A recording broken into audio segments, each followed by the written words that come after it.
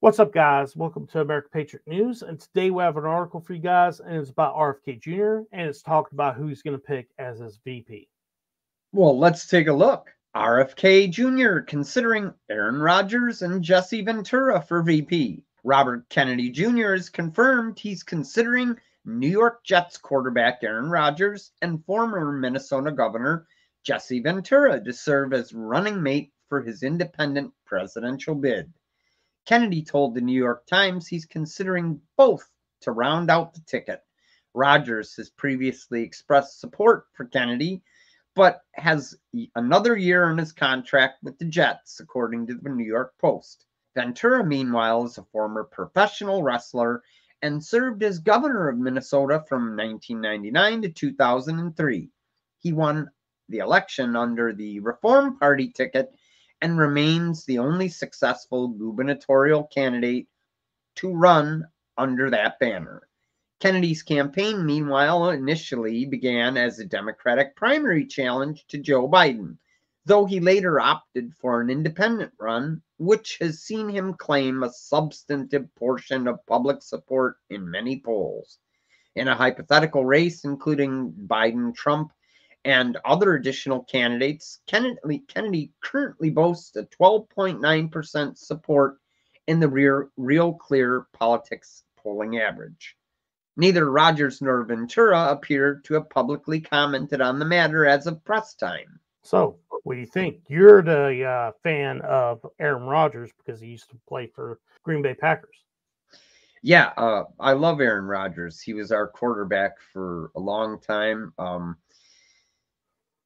I, I never even considered him for political post before, but I like him personally. What's really interesting to me is Jesse Ventura because we got to see how he would handle himself as governor of Minnesota, and he did a bang up job as governor. So um, it looks like Kennedy here, if he makes the right choice, uh, it's going to take a ton of votes from Biden. I mean, understand if you're a Trump supporter, this is all good news for us because Kennedy is not your typical third party candidate. 12.9%.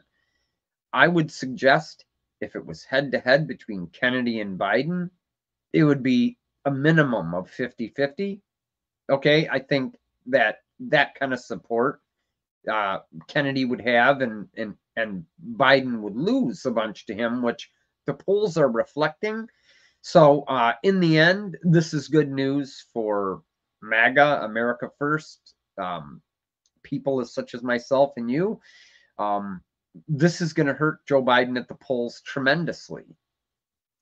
Yeah, I, I agree. I think it's also uh, uh, Jesse Ventura. I think is the more likely candidate due to Aaron Rodgers has another year on his contract, but he also might decide to retire. So we're gonna have to wait and see. I think either one helps add value to uh, his presidency, and will also help add uh, more votes to him. I think they both are net votes for him. I think he'll go from about 13% where he's at now uh, to probably around 15 to 16%. And then you got the other candidates in, in this running. I think uh, this year you're going to have uh, third parties taking at least – anywhere from uh, 20 to 25% of the vote, which is going to hurt the Democrats tremendously because that's where most of that vote's coming from. It's coming from Democrats, it's not coming from Republicans. Uh, and I think it's gonna, I think it's gonna be an easy win for uh, for Donald Trump at that point because the uh, cheating apparatus that can't can't uh, can't deal with that at that point an extra person taking extra people taking votes, that amount of votes out there, they, uh, there's no way they could get that kind of votes unless they go to all the way to 19, 19 uh, all the way to 1600s and take people of uh, and have people voting for back then. Right, right. I mean, that's absolutely the truth of it. Uh, the draw from the Biden vote is going to be substantial in a way we've never seen in American history before. And I, I, tell you what, this is one of the final nails in the coffin of uh, President Biden. He he isn't going to be able to overcome this. He's losing, like for example, uh, people under 30. Okay. Trump is plus six with young people right now. And that's just one demographic group.